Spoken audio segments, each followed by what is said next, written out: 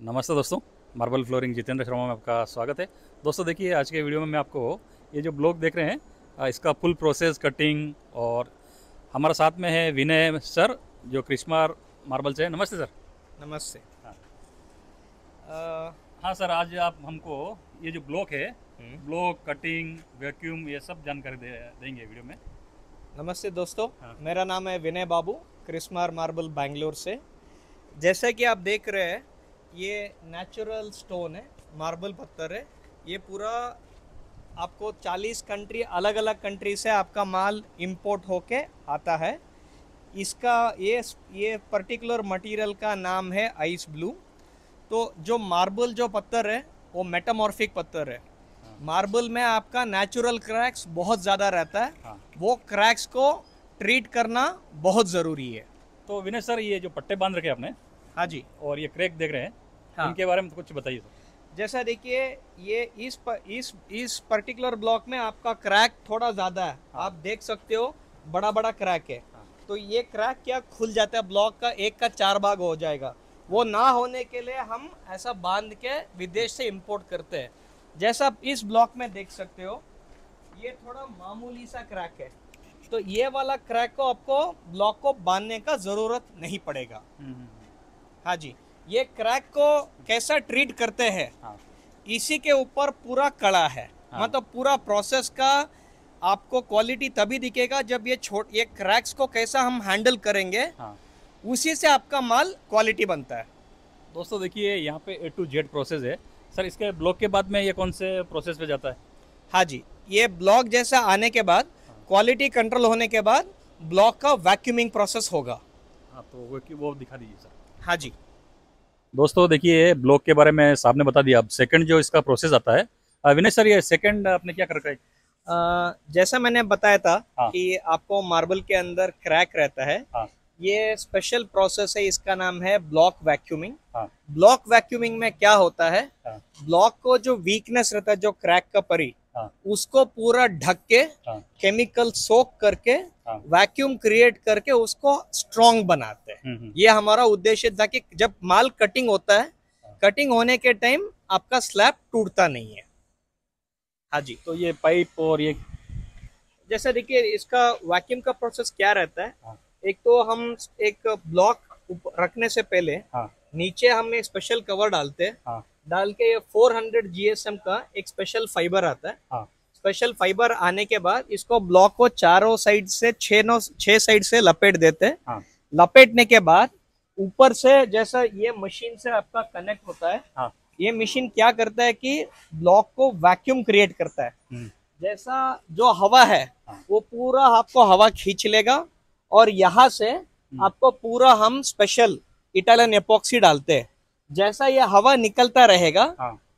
Vacuum create होगा। जैसा vacuum create होगा जो जो क्रैक्स है हाँ। वहाँ पे आपका ओरिजिनल इटालियन एपॉक्सी जाके अंदर में उसको जैम कर देगा हम्म, ताकि आपका माल कभी भी टूटे नहीं।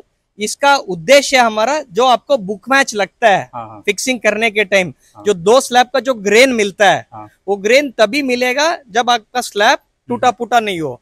माल ना टूटने के हिसाब से हम ये प्रोसेस बनाते हैं। हाँ। तो दोस्तों सेकंड प्रोसेस हो गया। अब थर्ड प्रोसेस कौन सा आएगा सर हाँ जी बताता हूँ। हाँ। दोस्तों देखिए third process sir third process के बारे में बताइए। सर यहाँ पे हम ब्लॉक को पूरा स्क्वायर करते हैं। हाँ। अगर जैसा ब्लॉक का पूरा कोना टूटा रहता है हाँ। ताकि आपका वेस्टेज हाँ। कम होने के लिए हम ब्लॉक को चारों चारों जगह से पूरा ड्रेसिंग कर देते हैं। हाँ। तो फोर साइड जब आपका माल ड्रेस होता है हाँ। तो आपका स्लैब एकदम परफेक्ट स्क्वायर दिखता है। तो यहाँ पे पूरा कटिंग होने से पहले स्क्वायर होके जाता है। हाँ जी हर ब्लॉक को पूरा पेटी पैक की तरह स्क्वायर बनाने के बाद हम्म। फिर नेक्स्ट प्रोसेस में जाता है। तीन तीन तीसरा प्रोसेस तो ये हो गया। हाँ जी। चौथा प्रोसेस हाँ जी बताता हूँ। दोस्तों ये इसका इस मशीन का नाम है गैंगसॉ हाँ। इसमें 98 ब्लेड्स रहता है। हाँ। जैसा हम ब्रेड को लोफ की तरह एक एक स्लाइस बनाते हैं। हाँ। गैंगसा मशीन में क्या होता है? जैसा आप ऊपर देख सकते हो ये मल्टीपल ब्लेड्स है। ब्लेड्स के ऊपर एक छोटा छोटा सा आपका डायमंड का सेगमेंट रहता है। आप ऊपर में देख सकते हो। तो गैंगसा से गैंगसा मशीन में क्या होगा? ये आपका पूरा ब्लेड ऐसा घूमता रहेगा। ब्लेड का मूवमेंट होता रहेगा। फिर वो धीरे धीरे आपको ब्लॉक को पूरा स्लैब्स में कटिंग करके बाहर आएगा। ये प्रोसेस लगभग 14 घंटा से लेके 16 घंटा में एक ट्रॉली आपका बाहर निकलेगा। एक ट्रॉली हाँ जी। एक ट्रॉली में आपको 5000 से 6000 फुट का प्रोडक्शन निकलता है। हम्म। और इसके बाद में सर? हाँ जी बताता हूँ।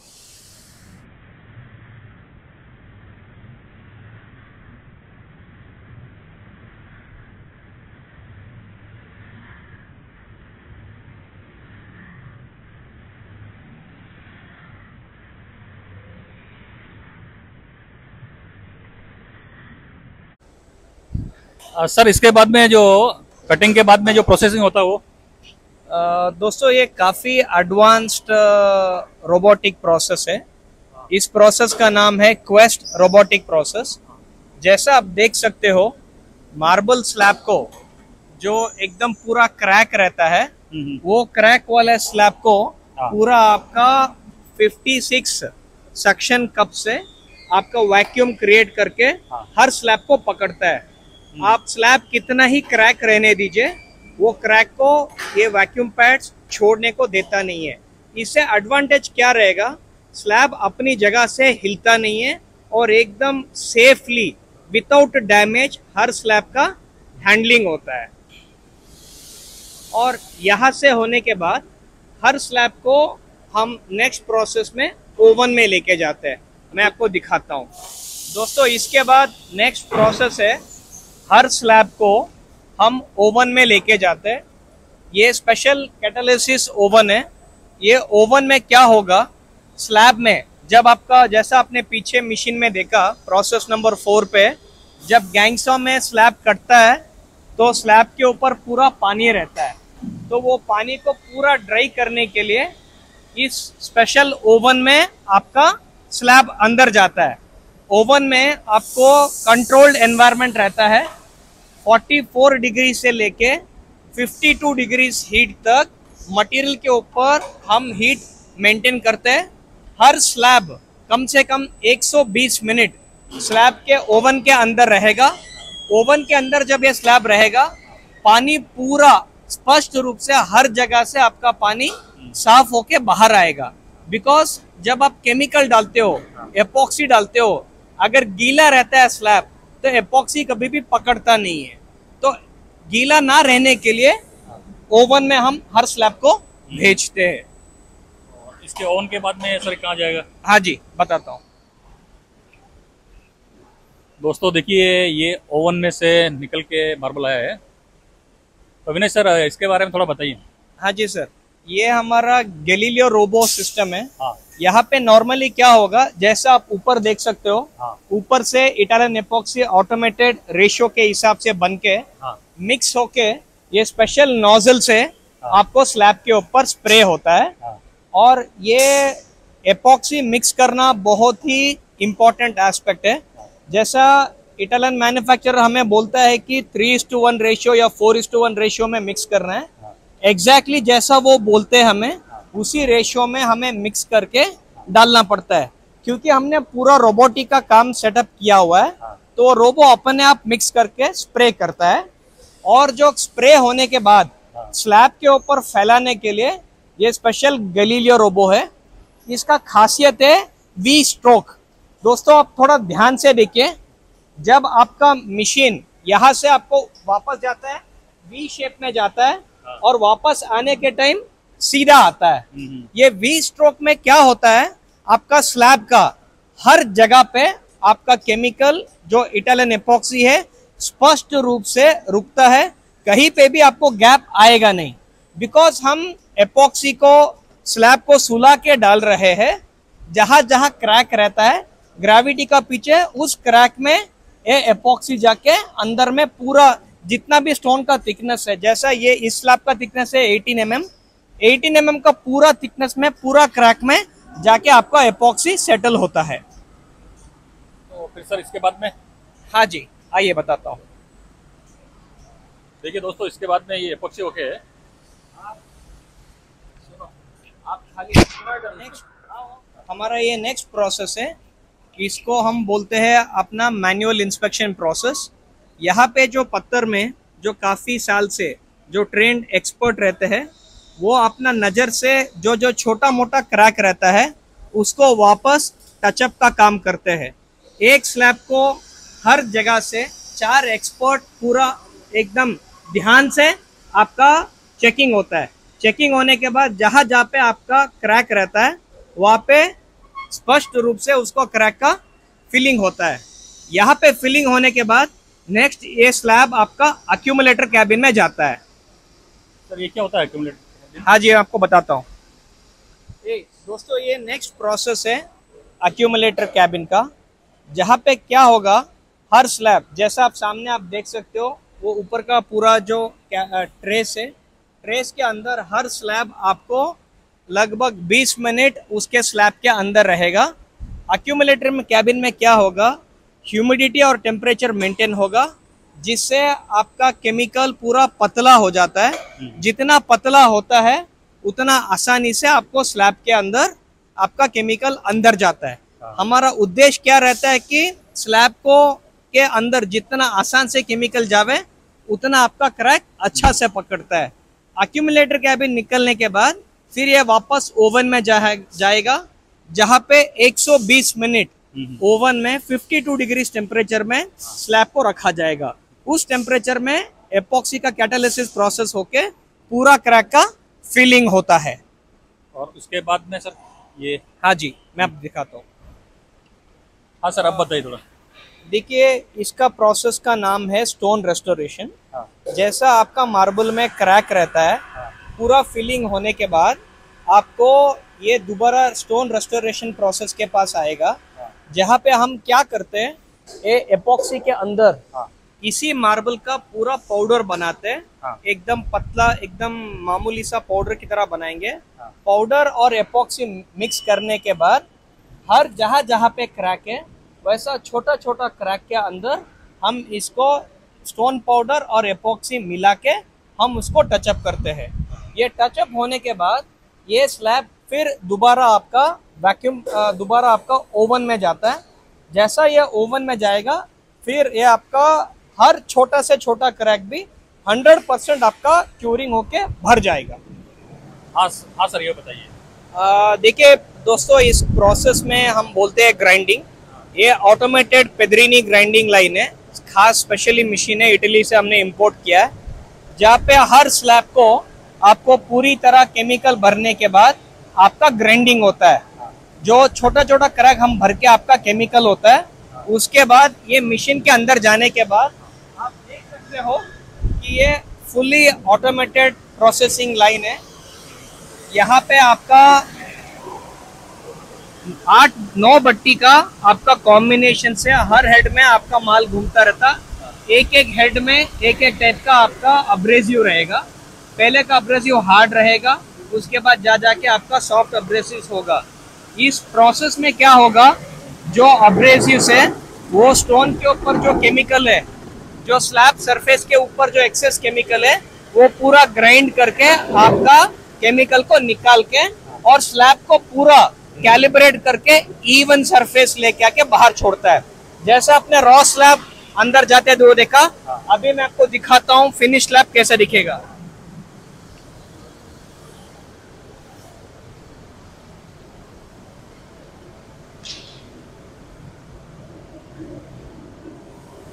हाँ सर, आप बताइए। जैसा दोस्तों आपने अभी जस्ट देखा हुआ है कि एक साइड से आपका पूरा स्लैब केमिकल भरा था और केमिकल भरने के बाद ये ऑटोमेटेड पॉलिशिंग लाइन में ग्राइंडिंग के लिए जाएगा।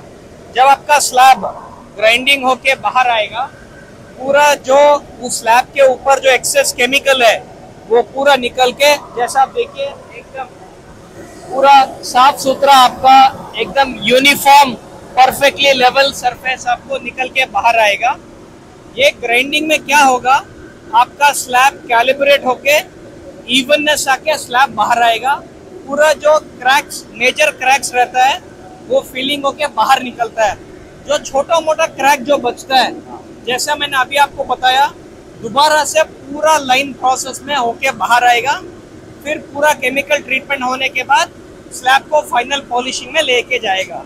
जैसा स्लैब फाइनल पॉलिशिंग होगा उसका रिज़ल्ट कैसा आएगा मैं आपको अभी बताऊँगा।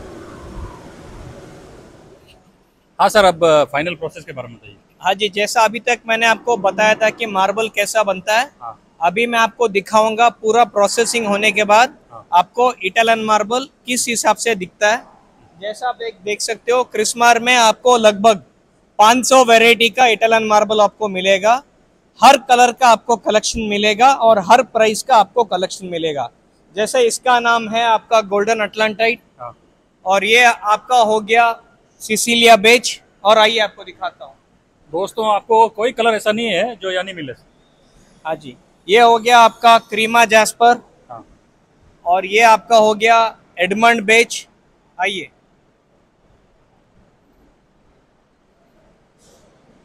ये हो गया आपका परलाटो सिसिलिया एक्स्ट्रा।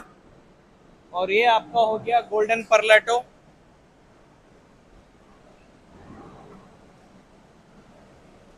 ये आपका गोल्डन नोवा। इस प्रकार से हमारे पास हाँ। लगभग 500 वैरायटी का कलेक्शन है। आप एक बार आप पूरा यार्ड को आप देख सकते हैं। देखिए दोस्तों ये देख देख सकते हैं आप पूरे कलर। और जो वीडियो है क्रिश्मार मार्बल का है। आ, क्रिश्मार मार्बल का तीन यूनिट है एक सरजापुर और जिगनी बेंगलोर में और ये शुलगिरी में है। ये आप देख सकते हैं स्टॉक यार्ड भी देख सकते हैं पूरा। 500 टाइप के आपको यहाँ मार्बल मिल जाएँगे। और क्वालिटी में कोई कॉम्प्रोमाइज नहीं है 18 एम mm का ही है ये सभी पत्थर। और जैसा कि मैंने आपको वीडियो में बताया था वैक्यूम का हर प्रोसेस के, केमिकल का तीन तीन बार केमिकल करके पूरे मार्बल को ये देखिए स्टॉक देख सकते हैं आप पूरा।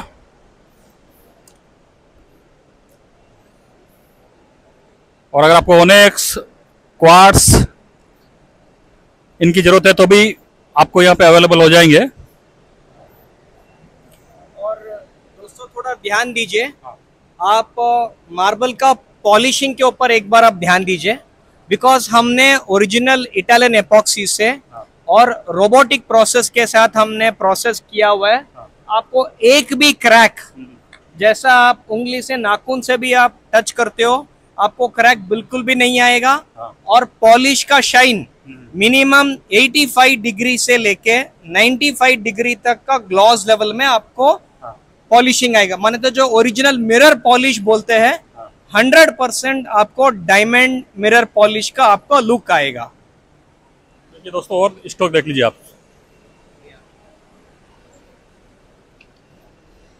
देखिए दोस्तों, इधर देख सकते हैं ये पूरा। ये देखिए,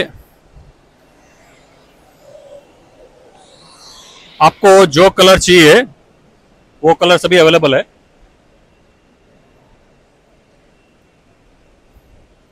एक बार मैं वहाँ से आपको दिखाऊँगा वहाँ ऊपर से, ये पूरा स्टॉक देख सकते हैं आप।